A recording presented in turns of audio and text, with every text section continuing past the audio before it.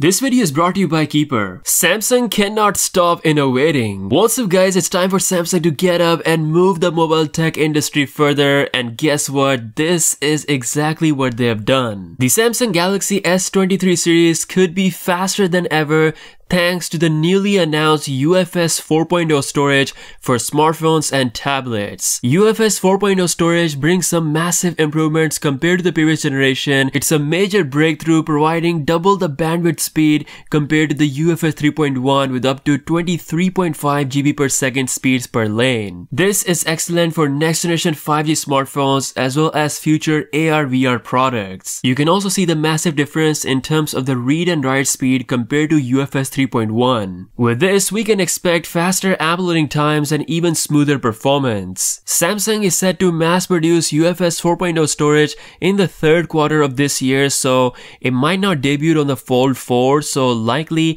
it will debut on the Galaxy S23 series. On top of bringing the speed improvements, the UFS 4.0 storage is also power efficient. It's also compact in size, meaning it's not gonna take as much space as the previous storage, plus it will be offered in range of configuration up to 1 terabyte. Guys, I'm low-key proud of Samsung for pushing the boundaries and of course, with better chips and with this UFS 4.0 storage, we could see some incredible performance on not just the S23 series but also Android phones in general. Innovation is so so important, but you know what else is important? Your security. Using a single password across all of your online accounts might be convenient, but in terms of security, it's far from ideal. Keeper Security is the most most secure way to store and protect your passwords, your private information on all devices from cyber threats and data breaches. It generates super secure passwords for that ultimate protection. Join millions of people who use Keeper Security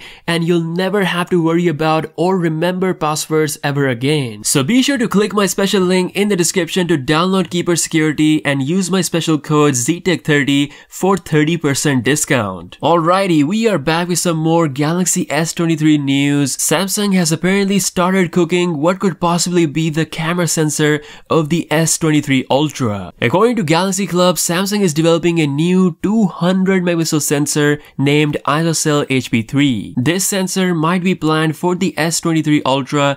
There are no further details about the actual sensor size or the optical format or any specification. The only info we know is that Samsung is working on a new 200 megapixel sensor. As we know, Samsung is obsessed with megapixels. They officially said that their main goal is to make a sensor that matches the human eye. If that is still their plan, then 200 megapixel is the next step. With that being said, numbers are numbers. The actual practicality of a 200 megapixel sensor compared to the current sensor that Samsung is using is still questionable. As we have already seen, Apple's 12 megapixel sensor on the 13 Pro Max is a prime example of how megapixels don't matter as much. As chips are getting better with even stronger ISP and AI, who knows there might be something meaningful about this new sensor that Samsung is working on. Again, we'll see what eventually happens. Hopefully, Samsung will focus on more bigger issues on their phones like having a better, more optimized chips for higher performance and improved battery life. There's just so much to improve, but let me know what you think